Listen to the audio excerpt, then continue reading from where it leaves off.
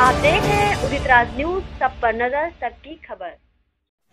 नमस्कार आदाब सत श्रीकाल मैं सुधीर कुमार सूर्यवंशी पल पल की अपडेट के साथ उदित राज न्यूज़ उत्तराखंड से। इसी क्रम में आज आपको दिखाते हैं टीरी गढ़वाल से गौरव डोवाल की रिपोर्ट।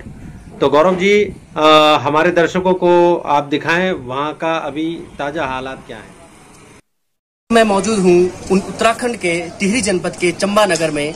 जैसा कि आप देख पा रहे हैं मेरे पीछे आ, लोगों की हल्की फुल्की भीड़ यहाँ पर नज़र आ रही है। हालाँकि जितनी भीड़ चंबा नगर क्योंकि एक ये ऐसा नगर है जो कम से कम सत्तर अस्सी गाँवों का केंद्र बिंदु है। इस केंद्र बिंदु पर लगभग हज़ारों की तादाद में आम लोग यहाँ पर आ, चलते थे रहते थे अपनी खरीदारी करते थे लेकिन लॉकडाउन के चलते यहाँ पर कुछ ही लोग आपको दिखेंगे। सड़कों पर जो अभी खरीदारी कर रहे हैं और एक बजे तक का यहाँ पर टाइम है, लोगों को दूर दूर से आना होता है। इसीलिए हालाँकि कुछ लोग यहाँ पर ऐसे हैं जो सोशल डिस्टेंसिंग का पालन करते हुए नहीं दिख रहे हैं, लेकिन पुलिस प्रशासन के द्वारा उनसे निवेदन किया जा रहा है, उनको बताया जा रहा है कि सोशल डिस्टेंसिंग का भी पालन आपको करना है। और जैसे कि आप देख पा रहे हैं, मेरे पीछे कुछ दुकानें ऐसी हैं जो दुकानें बंद हैं और कई दुकानें जो आवश्यक सामग्री की दुकानें हैं, वो दुकानें खुली हुई हैं। तो लॉकडाउन का इसी तरह से पालन अगर चलता रहा तो हम लोग कोरोना वायरस पे विजय पाने में कामयाब होंगे। हालाँकि अभी यहाँ पर जनपद टिहरी की अगर मैं बात करूँ तो जनपद टिहरी में पचपन लोग ऐसे हैं जो टिहरी नगर में जो क्वारंटाइन किए गए हैं और चंबा की अगर मैं बात करूँ तो चंबा में 24 लोग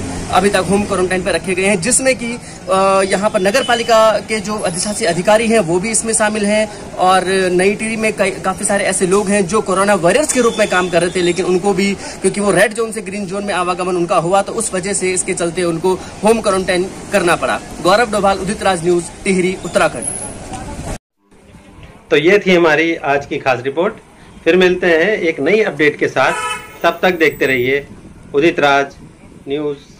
जय हिंद, जय भारत।